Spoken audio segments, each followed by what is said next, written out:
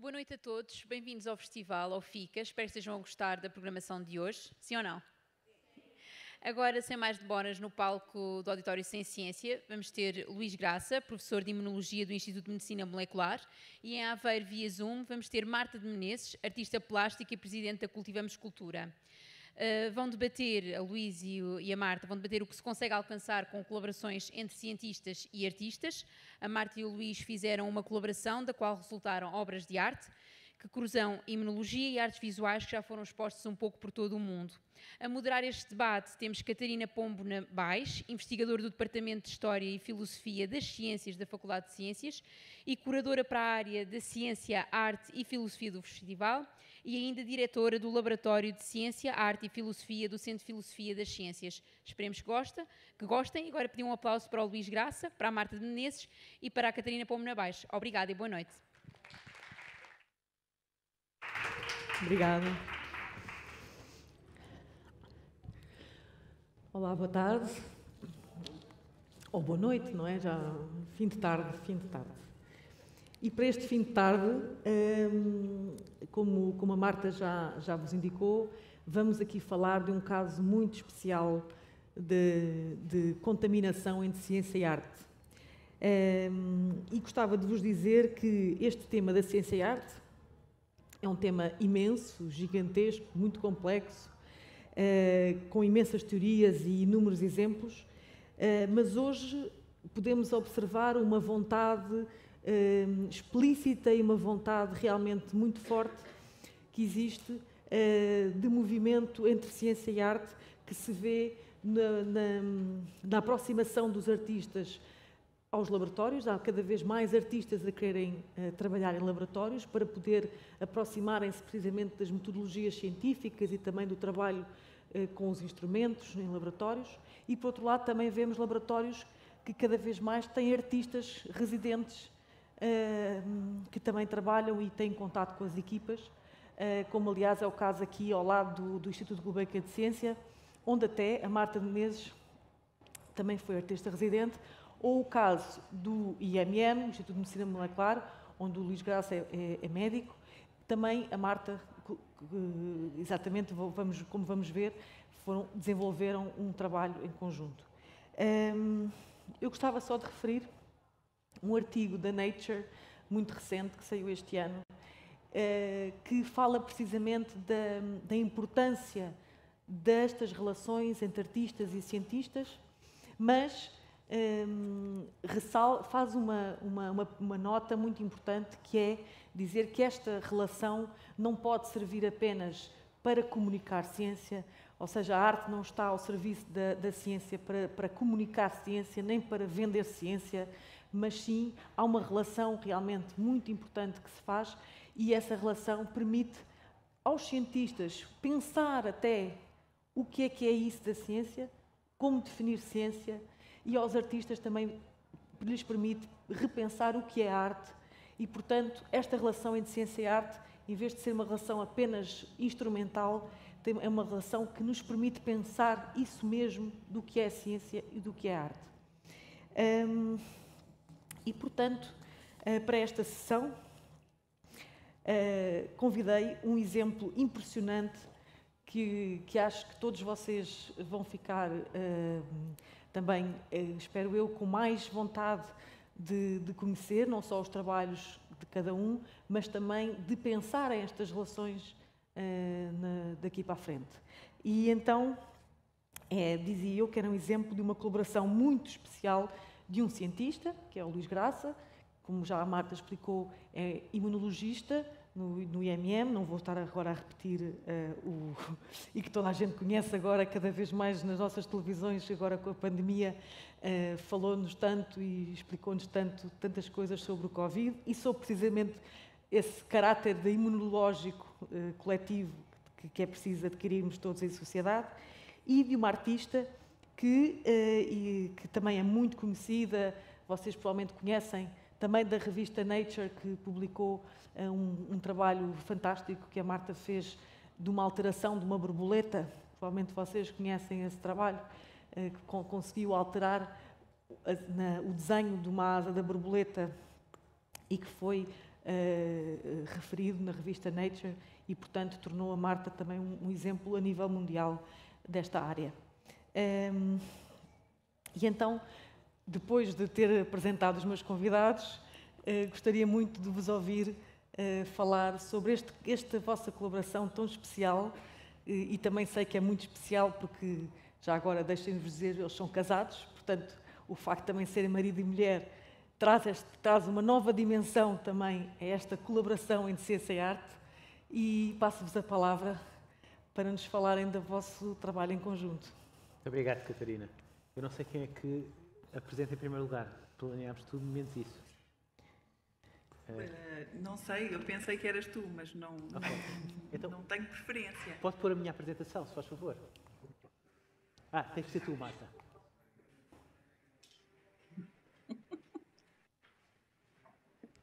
Marta, tens que ser tu a fazer a apresentação. O quê? Tens que ser tu a fazer a apresentação primeiro. Ah, ok. Muito bem. Então, uh, já estão a ver a minha apresentação? Ainda não. Agora, deixem-me lá ver o que é que eu estou a ver. isto, eu estou a fazer isto remotamente. Uh, ok, já estou a ver aí o meu primeiro slide e eu estou com um tamanho um bocadinho mais normal aí no ecrã grande. Uh, Pronto, então vou, vou, vou começar. Muito boa tarde, muito obrigada por terem vindo, muito obrigada, Catarina, pelo convite. É um prazer uh, uh, uh, falar um bocadinho do, do meu trabalho. É sempre um prazer falar do meu trabalho, mas é também um prazer especial falar com o meu colaborador um, sobre o meu trabalho e, e, e, e vir explicar um bocadinho porque é que eu uh, gosto tanto de fazer aquilo que faço como artista visual uh, e, e, o meu trabalho em laboratórios de investigação científica. Eu sou artista primeiro, uh, mas também dirijo duas instituições em Portugal. Uma é Cultivamos Cultura, como tu disseste, que é no Alentejo, na, na, no litoral, e a Etopia, que é em Lisboa. A Cultivamos Cultura é, é um espaço para receber artistas em residência e a Ectopia é um espaço de facilitar uh, uh, uh, colaborações e trabalhos entre artistas e cientistas. Um, eu, como artista, já desde, desde o final do meu curso de pintura na Faculdade de Belas Artes, em Lisboa, que trabalho dentro de laboratórios de investigação científica com muitos cientistas extraordinários que tenho vindo uh, que tenho tido o privilégio de vir a conhecer ao longo dos anos em que tenho trabalhado uh, como artista. Eu também já trabalho como artista há algum tempo, já tenho mais de 20 anos de carreira e o meu primeiro trabalho, como a Catarina referi, referiu, foi um trabalho de manipulação em asas de borboletas vivas num laboratório na Holanda. Um, e foi, na verdade, o meu último trabalho de curso, foi o meu, o meu trabalho de graduação. Ah, desde essa altura que uh, o mundo da biologia uh, se abriu à minha frente como um, um, um espaço de interesse fundamental no qual eu posso explorar novo conhecimento que está a ser produzido um, e que me deu ao longo do, do, do tempo uma paixão por uma ideia em particular, que é uma ideia que, eh, que, que, me diz muito. Ou seja, para mim, como artista plástica, como artista visual, aquilo que me fascina e que me parece fundamental uh, uh, pensar é a ideia de identidade. Uh, e identidade é violentamente desafiada, ou a ideia que nós temos sobre identidade é uh, violentamente desafiada por cada vez mais conhecimento que nos vem da biologia e imagino que vai continuar a vir. E, portanto, desde, desde o início da minha carreira que eu trabalho com uh, várias áreas da biologia, um, ehm, a partir sempre do ponto em que tento compreender melhor uh, quem é que nós somos, de onde é que viemos, o que nós somos, não é? Uh, e isto tudo me permite depois posicionar questões que nos, que nos dão, uh, uh, na minha opinião, uma ideia melhor sobre quem queremos vir a ser, é? Quem, quem é que queremos vir a ser.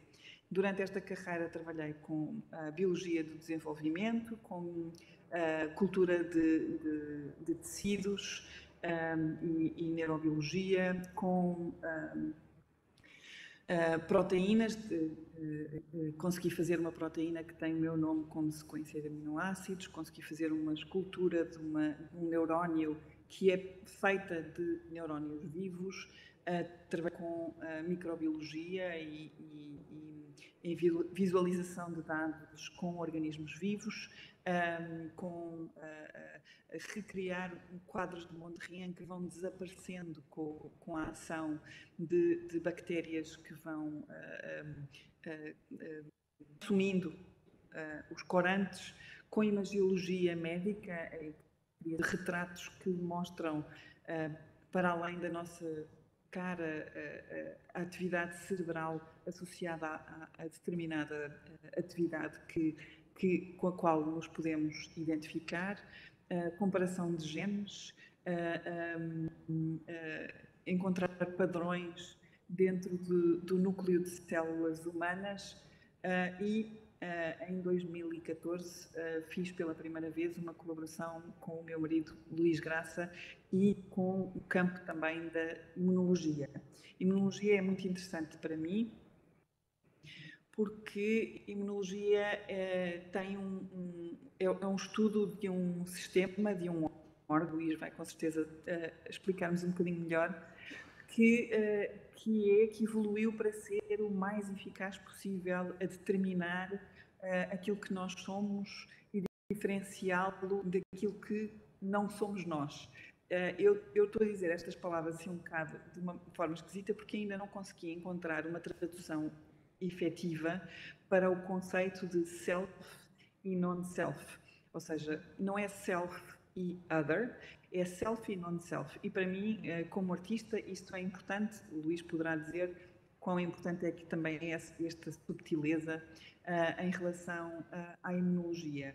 Em 2014 eu estava a trabalhar a ideia de imortalidade e, uh, e estava interessada em tentar perceber o que é que significa imortalidade para nós, os seres humanos, Uh, e, e, e, aprendi também em biologia uma coisa que me, que me deixou muito surpreendida, que foi quando, uh, nos anos 60, se descobriram as células de cancro, um, uh, nomearam-se essas, essas linhas de, de, células de linhas imortais. Essas, essa, essa, essa linha de células imortais é uma coisa, é um nome que eu acho que é muito curioso, porque são células de cancro e, portanto, estão associadas a uma doença. Um, e achei que era interessante como é que uh, tinham decidido chamar, uh, uh, ou seja, eu consigo completamente, em termos de lógica, porque é que lhes chamaram linhas imortais de células, tem a ver com o facto de o, o relógio biológico destas células não estar a funcionar como, como, como as células saudáveis e não param de se dividir, portanto, atingem essa imortalidade de deixar de se dividir uh, de se dividirem indefinidamente. As nossas células saudáveis, a determinada altura, deixam de se dividir. De se dividir. E, e, e queria, como artista, interessa-me perceber e experimentar o que, é, o que é que as coisas são através do conhecimento, que é um conhecimento também uh, ah, um, uh, experiencial. E então uh, supus que, que seria interessante pegar em células minhas e, uh, uh, e tentar atingir uh, esse tipo de imortalidade que, que vem com, com, com essa, essa, alteração do relógio biológico das, das células. Por questões de segurança, eu não sou autorizada a trabalhar nas minhas próprias células fora do meu corpo.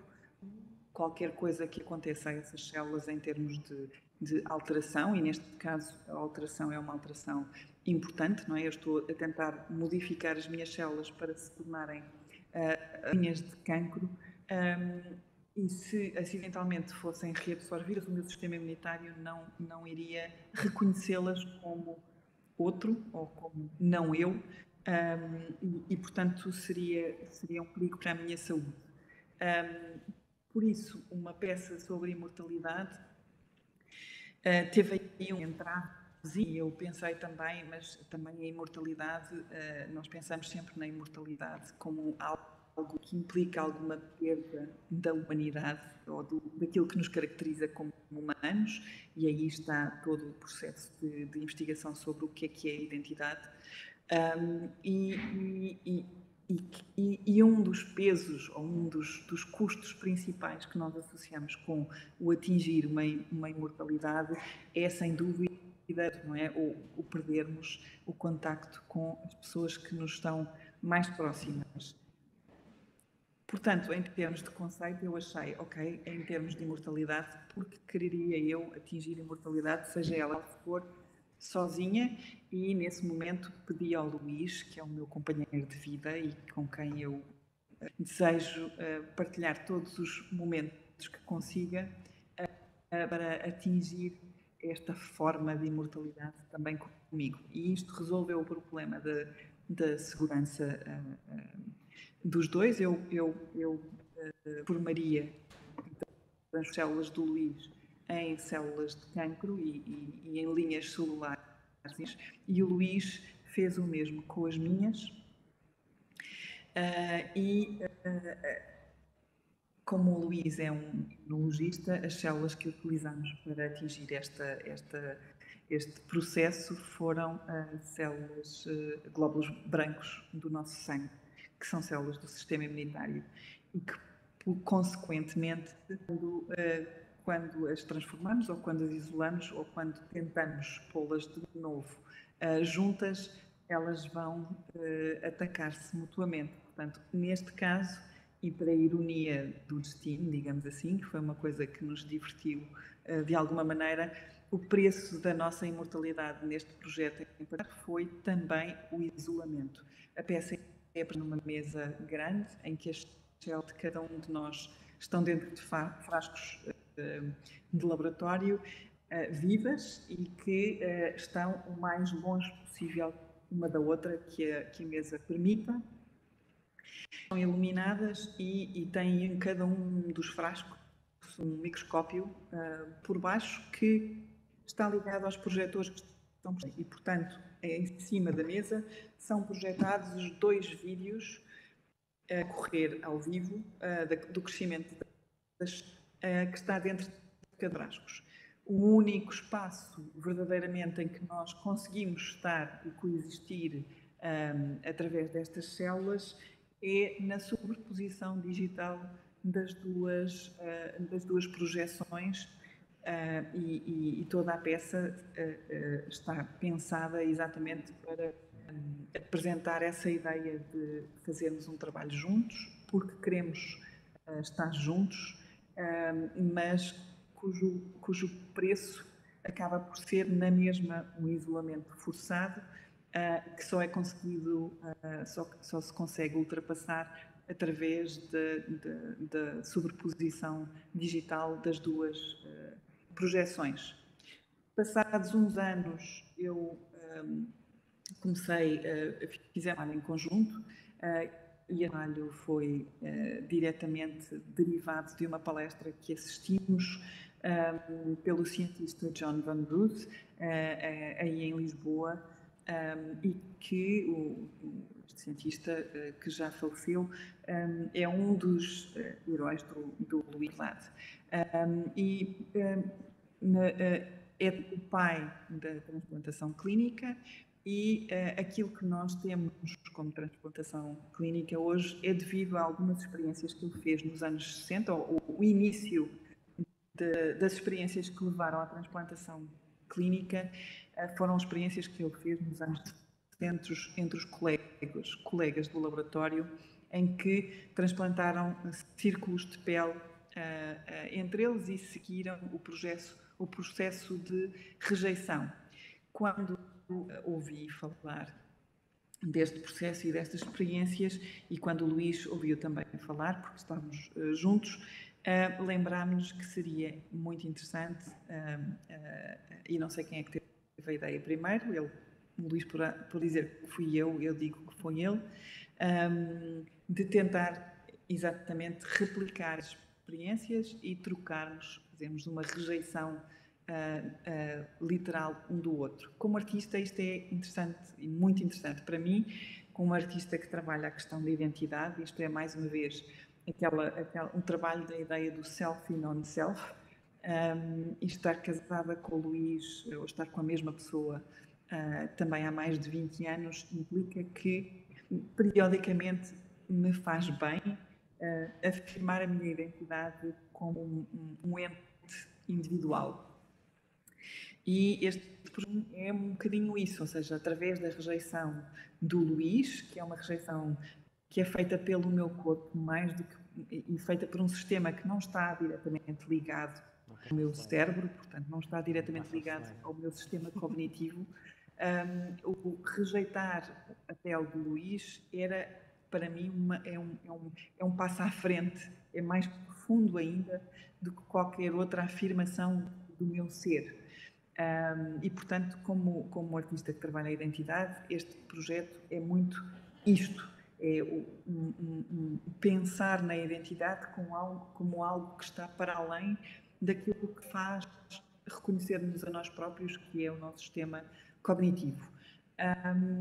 para Luís, e felizmente, uh, é um bocadinho diferente, e, e vocês vão ver uh, como ele vai este processo ele é imunologista, uh, nós uh, uh, vivemos juntos há muito tempo e para o Luís, de acordo com a minha compreensão, o processo, o processo de rejeição é uma coisa curta e relativamente não, que passa, que, é tempo, que é, tem um tempo muito específico. O que é importante neste processo é o, a consequência e a transformação que existe no nosso corpo um, com o processo de rejeição. É? O, o, criar, o que acontece é que criamos anticorpos que permitem aos nossos, ao, nosso corpo para sempre reconhecer uh, uh, o outro. E isso é o que vai continuar connosco para sempre. Portanto, essa parte uh, que é produzida pelo sistema imunitário e, e pelo, pelo qual, pelo, da qual é, é, é responsabilidade do sistema imunitário é algo que é muito mais duradouro do que aquela afirmação um, através da rejeição, é o facto de termos os dois, a partir desse momento, uh, uh, moléculas no nosso corpo que, que vão sempre lembrar-se e reconhecer uh, o nosso parceiro de vida. Esta peça foi gravada, foi uma cirurgia feita pelo cirurgião plástico, Uh, eu ainda tenho uh, no meu braço, e o Luís também terá no dele, um, uh, as cicatrizes da cirurgia. o público quer a ver a cirurgia na sua própria pele, ou seja, a cirurgia foi gravada e é projetada numa mesa. Um, e, e, também temos um vídeo que é apresentado em conjunto com, com a mesa.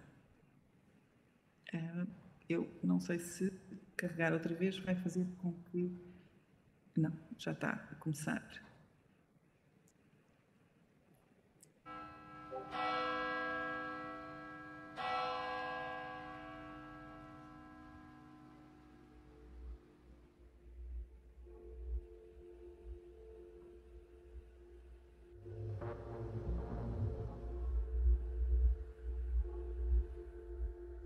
My name is Marta Menezes and I'm an artist. My name is Luís Graça. I teach medical students at University of Lisbon Medical School. So just like an artist would choose to paint in oil or watercolors depending on what they want to achieve with a piece, I choose living materials to achieve what I want. I work in diseases where the immune system is the direct cause of the disease, such as autoimmune diseases Luis Graça is my husband. He's a professor of immunology at the University of Lisbon. She's my favorite artist, and we have been married for about 20 years. Collaborating with Marta is very natural in the sense that as we are living together and as both of us like to discuss ideas, it is almost inevitable. The fact is that for uh, many years, Marta worked with many different researchers and we had never formally collaborated in a project until quite recently. My new project, Anti Marta, is uh, actually in a way a follow up of Immortality for Two, and it consists of inducing our bodies, Luis's body and my body, to produce antibodies against each other. Anti Marta starts with an idea that recapitulates very important experiments that were critical for the development of transplantation as a useful procedure. Uh, Van Root in uh, the Netherlands discovered the rules of histocompatibility to get a donor and a recipient matched. The surgeon is going to perform the surgery and they're going to um, remove a little portion of skin from me and Luis and they're going to exchange that and the process of rejection will start then. Auntie Martha is for me a really interesting challenge. Very much in the same way that immortality for two, there's an impossible endeavor of being together in the same place as immortal. Auntie Martha has this, this impossibility as well of becoming one. It is also a continuation of the exploitation of how two people that love each other can share a pact.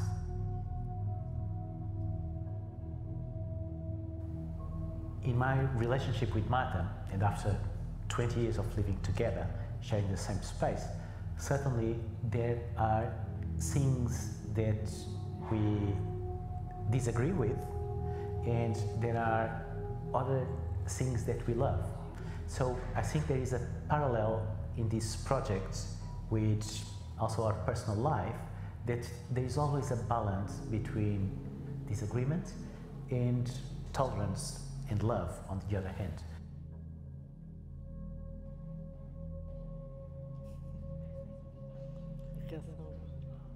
The rejection process is a process of identifying and creating this, this, this metaphorical barrier of who we are and who the other person is. But I don't see it as a bad thing. I actually see it as a very positive thing because when I'm in a relationship, I don't want to lose myself to the other person. So after the process of rejection, it's going to scab and it's going to scar because there was an intervention there. In a way, I think it's very fitting that something that symbolizes a relationship does leave a scar, it leaves a mark. It's something that will always remind me not only of the project, but um, in a way, some of the achievements of our relationship. We, we transform each other. It's, a scar is not necessarily a bad thing, it's just a, a, a visual memory or a physical memory of um, steps in our relationship.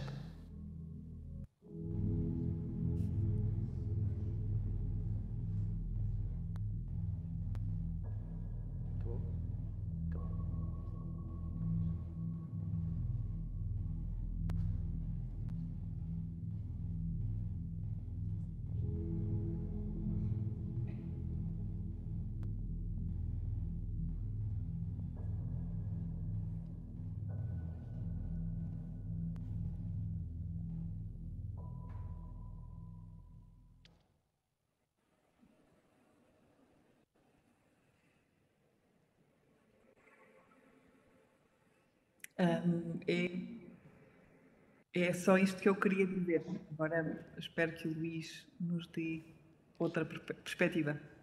Obrigada, Marta. Vamos então agora ouvir o lado do outro, da outra pessoa que esteve nesta experiência, o Luís, como médico, não é? Exatamente. Ok. Uh, por isso vão ouvir uma história que é um bocadinho diferente desta história.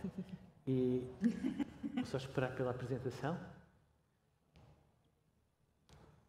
E aquilo que eu quero começar por apresentar é que uh, ultimamente nós temos estado a ter uma grande uh, exposição à imunologia e o que é que é o sistema imunitário, pela capacidade que o sistema imunitário tem de nos proteger contra infecções. E esta grande questão é que, ao mesmo tempo que isto nos protege contra infecções e é útil, também identifica aquilo que é estranho a nós, nomeadamente um transplante, e rejeita um transplante. Todos nós passamos por um local parecido com este, neste último ano, e aquilo que nós fizemos neste momento foi ensinar o sistema imunitário a ter uma memória contra algo que é estranho a nós, neste caso o Covid-19. Mas também há situações em que esta resposta causa doenças e por isso o sistema imunitário é sempre um balanço entre uma ação agressiva contra aquilo que é estranho, como Covid-19 ou um transplante, mas ao mesmo tempo não criar dano contra aquilo que somos nós. E por isso tem que distinguir aquilo que somos nós e aquilo que é estranho. Conceptualmente isto é espetacular. Os artistas gostam deste tipo de conceitos. Infelizmente, há um lado desagradável disto, é o facto do sistema imunitário não ser muito atraente visualmente. O sistema imunitário é um conjunto de células que todas parecem parecidas e que circulam sem residência no nosso corpo. Não há um órgão como um coração, um fígado, que nós podemos identificar como sistema imunitário. As células são identificadas tipicamente com máquinas que nos permitem vê-las indiretamente. E eh, isto é o que no dia a dia nós utilizamos para ver células, em que cada pontinha é uma célula e dependendo dos quadrados onde elas ficam, são células diferentes. Conceptualmente, nós desenhamos experiências para tentar perceber como é que as células conseguem uh, interagir. Isto é exatamente o processo que acontece durante uma, uma vacinação, porque nós trabalhamos em vacinação, com as células B que produzem anticorpos contra a vacinação e como é que isto se processa. E criamos estes modelos de como é que as coisas podem funcionar e tentamos validar esses modelos, por exemplo, vendo todos os genes que cada uma destas células está a fazer e de que forma é que, sabendo todos os genes que estão ativos em cada uma destas células, as células vão evoluir ao longo do tempo e utilizando métodos computacionais que nos permitem perceber a relação destas células e como é que as células desenvolvem. Tudo isto para vos dizer que, visualmente, nós utilizamos muitos métodos indiretos e poucos métodos diretos para ver as células. Para muitos artistas, isto frequentemente não é aquilo que estão à espera para trazer, fazer o cruzamento de ciência e arte. No entanto, tenho trabalhado com vários artistas plásticos, muitos conhecidos, que têm realizado trabalhos que utilizam a imunologia e períodos de tempo no meu laboratório para criar obras de arte, como o Nigel da Austrália, o Andrew de Inglaterra ou o Ervik que está agora na Áustria. Mas já vimos que a minha artista preferida é a Marta, como vocês sabem, e eu sou a única pessoa que pode dizer que o meu artista preferido é este, e toda a gente sabe que eu estou a dizer a verdade. Uh, e eh, depois de muitos trabalhos que a Marta fez, o primeiro trabalho que nós fizemos em conjunto foi este da Immortality for Two. Para mim, o que me, a parte que mais me cativa deste projeto é realmente este contraste entre a imortalidade e o preço da imortalidade, que neste caso é o preço da solidão permanente, das células terem que ficar isoladas porque não conseguem estar em conjunto e só estão em conjunto nesta projeção, neste espaço virtual em que as duas células, as duas projeções das células se interceptam. E o outro trabalho que a Marta acabou de descrever sobre transplantação, o meu doutoramento foi feito em transplantação e passei toda a minha eh, a parte de aprendizagem de imunologia a ver experiências de transplantação do Van Root, que criou o campo da transplantação, criou a, capacidade de nós fazermos transplante e, na verdade, nós sabíamos antecipadamente tudo, tudo, tudo, tudo o que ia acontecer. E são imagens todos os dias e nós sabíamos que o transplante da Marta, o, ou seja, a minha pele no braço da Marta, ia ser rejeitada um ou dois dias antes da pele da Marta na, no meu braço, porque a Marta, como teve filhos, já tinha uma memória imunitária contra antigénios meus partilhados com o filho e por isso aí ia haver uma resposta imunitária mais rápida. O que aconteceu? Portanto, era tudo esperado e aquilo que foi o resultado final é que conseguimos criar ou desenvolver, devido a esta relação entre o próprio e o não próprio, criar uma nova memória, não uma memória baseada em sentidos, mas uma memória baseada em moléculas, neste caso anticorpos, que para sempre conseguem reconhecer o outro. Da mesma maneira como quando nós fazemos uma vacina contra a Covid-19, criamos uma memória que para sempre, com maior ou menor intensidade, vai ser capaz de reconhecer aquele vírus. E nós, em ciência, acabamos sempre a mostrar as pessoas do laboratório e mostrei algumas, alguns resultados de pessoas que estão aqui e que criaram estes, estes resultados e para mostrar que no nosso laboratório também há obras de arte criadas pela minha artista preferida. Ok? Muito obrigado. Então, mas eh, vocês estão a falar daquilo que eu percebi e da, da explicação, tanto tua, Luís, como da Marta. Há aqui três conceitos fundamentais: identidade, imortalidade e imunidade. Não é? É, é esta, a ligação de identidade com imortalidade e imunidade. Não é? Acho que é uma triangulação de conceitos. Não é? Imortalidade, a imunidade, no fundo, acaba por ser o, o veículo que permite explorar os outros conceitos.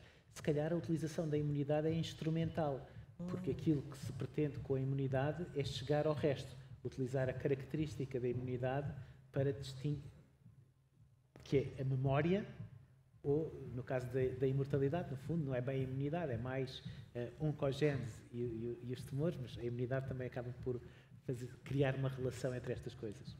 E tu disseste agora mesmo que houve uma rejeição, já sabias que, havia, que iria haver uma rejeição uh, por parte da, da, Marta? Não percebi essa parte. Porquê é que já sabiam que iria haver uma rejeição? Sempre que há um transplante de uma pessoa diferente, invariavelmente há uma rejeição. Qualquer um de ah. vocês, se fizer um transplante de pele entre um e outro, uh, a, a única coisa que vai diferir é a velocidade da rejeição, mas a rejeição é inevitável, exceto ah. entre gêmeos idênticos. Ok? É a exceção. O que acontece é que, por exemplo, pessoas que têm uma maior incompatibilidade, por isso é que se faz, por isso é que se vão buscar órgãos e tentar ver se os órgãos são compatíveis ou não são compatíveis, podemos diminuir a intensidade desta rejeição e assim, no caso do transplante de pele, atrasar o processo de rejeição. Haver uma exposição prévia a estes tecidos, como no caso da Marta, que havia uma exposição prévia aos, aos meus antigénios, por causa do nosso filho que carrega metade dos seus genes são meus, isso faz, fez com que já houvesse uma imunidade pois, e, pois. e, já era esperado que com isso a rejeição seria mais rápida. Ah, ok. Pois naturalmente eu iria pensar ao contrário, que seria uma rejeição mais lenta, porque já havia precisamente vocês têm filhos em comum, portanto pensava que até fosse mais lenta. E agora uh, gostava de vos ouvir, uma, gostava de vos fazer uma pergunta, que era este trabalho que vocês fizeram foi mais por amor a um ao outro ou por amor à arte e à ciência? E até que ponto é que ficaram contaminados como artista pela ciência e o cientista pela arte? Bom, eu não, eu não faço uh, projetos por amor à arte e à ciência. eu faço, eu faço projetos porque uh, uh, é um bocadinho aquela, aquela, aquela ideia clássica que nós somos artistas porque não, não, podemos, não conseguimos ser mais nada. Porque, porque faz parte da nossa, da nossa matéria, digamos assim, da nossa natureza, fazer o que fazemos.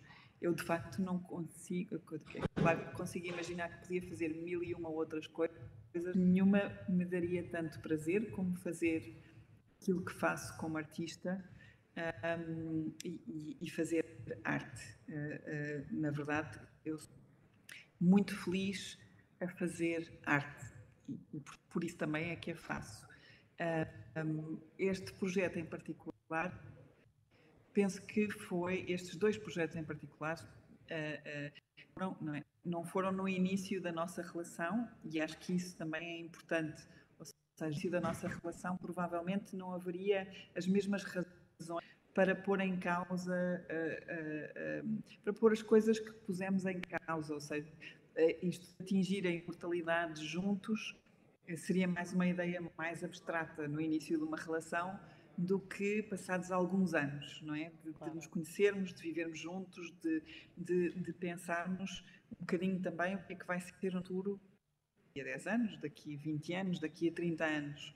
Uh, eu penso que no início da nossa relação estamos mais ocupados com os nossos filhos do que uh, uh, pensar que íamos passar o, o, o, resto do nosso tempo em conjunto. E, e o Anti-Marta também não fazia sentido de ter sido feito antes do, do tempo que foi. Uh, uh, isto de, de perceber que, que, que, era importante para mim, como artista, trabalhando em, em questões de identidade, uh, tentar perceber um bocadinho melhor como é que um, um, um órgão, que é o sistema imunitário, decide quem é que sou eu e o que é que não sou eu, um, é, é, é, algo que, que no início da, da, nossa relação não teria feito sentido fazermos junto um, e, e, e, que, e, que, fez sentido passados muitos anos ou passados alguns a estarmos uh, um, juntos. O que é que tu achas, Luís? Sim, eu concordo, concordo com isso. Eu, eu acho que claramente as coisas estão. É difícil distinguir se é por uma razão ou por outra razão, porque as coisas estão misturadas. Não consigo distinguir as diferentes motivações que estão juntas. Pois, mas por exemplo, qual é a fronteira para vocês neste trabalho? Onde é, que, onde é que termina a arte e onde é que termina a ciência? Ou onde é que começa a arte e onde é que começa a ciência? Se quiséssemos definir uma fronteira. Ou não é possível simplesmente definir essa fronteira? Pois, eu não sei se calhar é outra pergunta mais para a Marta do que para mim. Ou então posso, posso fazer outra Acho pergunta. Acho que há perguntas aqui. Ah, pois.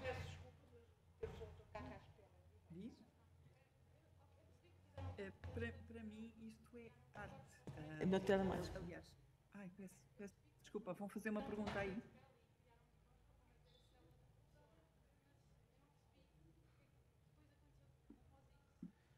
Não aconteceu nada. O, o, é, o transplante, quando é rejeitado, forma-se no fundo o, gen, o mesmo que acontece quando uma pessoa esfola um joelho, portanto fica uma crosta, e, que é a consequência da rejeição, e esta crosta cai e fica uma cicatriz por baixo. Uh, isso é o que acontece de, no, neste processo de rejeição da pele, como já se conhecia das experiências do Van Rude dos anos 60 ou 70. Portanto, já sabia qual era a consequência desse, desse transplante.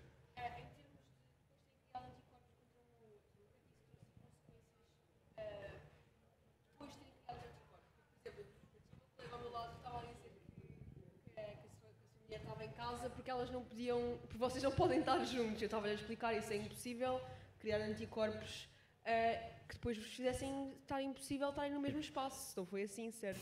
Sim, não, não há nenhum problema, não há nada. Aliás, durante a gravidez, frequentemente as mulheres durante a gravidez podem criar anticorpos contra antigénios do, do pai. O que acontece é que uh, eventualmente, se um dia precisássemos de um transplante de órgão, a outra pessoa não pode ser um dador, uma vez que já há estes anticorpos, o que poderia fazer com que esse transplante fosse rejeitado com uma grande intensidade. Bom, nós também não temos muito mais tempo, eu tinha aqui imensas perguntas para vos fazer e para, e para até perceber, uh, eh, um, ehm, cá está, este lado do de, o que é que a Marta, como artista, sentiu que teve que entrar na ciência e o que é que tu, como cientista, sentiste que tiveste que entrar na arte para construírem esta obra de arte, que não é só obra de arte, é uma obra de arte e ciência. Portanto, para percebermos estas fronteiras, mas não sei se temos ainda temas, mas temos tempo para uma pequena resposta. Marta?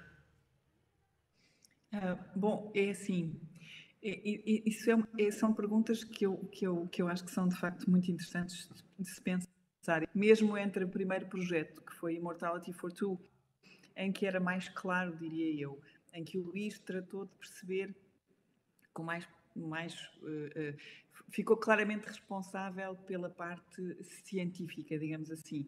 Era um protocolo de imortalização de células, era um protocolo que era relativamente conhecido, foi só uma questão de decidir qual é que seria o protocolo adequado para as nossas células.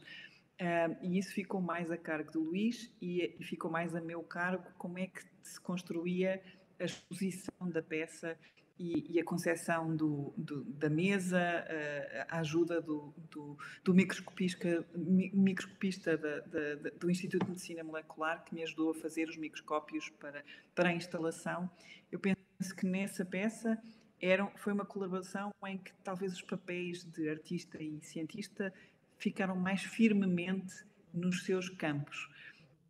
No Anti-Marta, uma das coisas que mais me prazer me deu foi esta, esta diferença entre, para mim, isto é uma peça claramente sobre a rejeição e sobre a, a ideia de, eh, de, de, um órgão eh, determinar, de um órgão que não é o cérebro, determinar, e esse é o grande desafio, a questão de identidade que eu ponho com esta peça, não é? É, é, é um bocadinho esta de determinação do que é que, é, que, é que sou eu e o que, do que é que é o próprio e o não próprio, ser feita através de um sistema que não é um sistema cognitivo.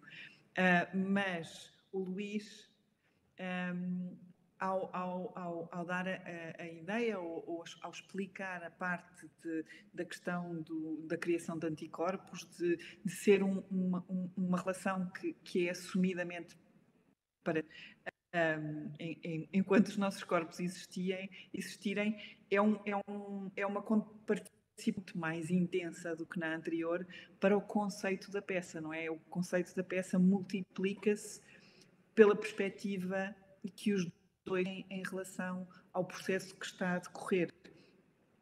E aí a fronteira entre o que é a ciência e a arte, ou o que é que é um projeto de arte e ciência, é um bocadinho mais esbatida porque pela primeira vez, eh, ao trabalharmos juntos, o Luís não está só envolvido na parte técnica e científica do conhecimento puro, mas também ao, uh, uh, ao nomear este projeto um pouco de compromisso para a vida, não é? De, de, de, de pacto, de pacto profundo, e isso eu diria que tem mais do foro da filosofia e da arte do que do foro científico.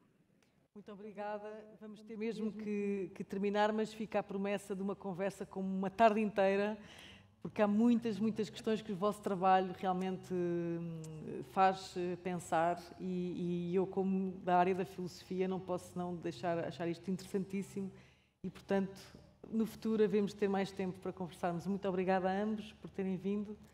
Um beijinho, Marta, obrigada, ao longe. Obrigado. beijinho, obrigada. Obrigada.